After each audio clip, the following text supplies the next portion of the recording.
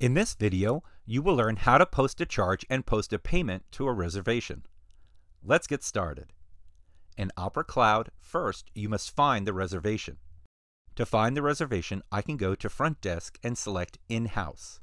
Or, as in this example, I go to the Opera dashboard and click the In-House Reservation tile to go to the list of in-house reservations.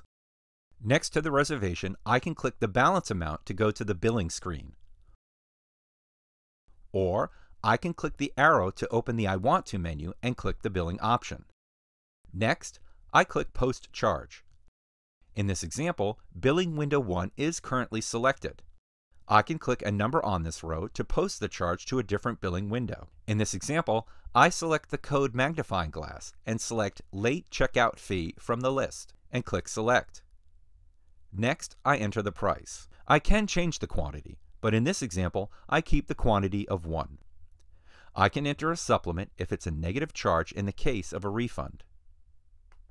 Or I can enter a reference description or a check number. I click Apply Charge. Now I can see the late checkout fee of $30 is added to the reservation.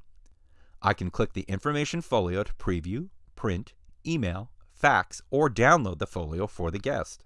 Or I can click the vertical ellipse to edit or transfer the posting, post a payment or adjustment, make a quick split, or view the interim folio. For this example, I click Post Payment. I can change the payment method or the amount.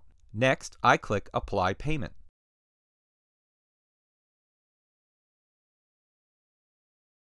I see the payment posted to the billing window 1 of the reservation.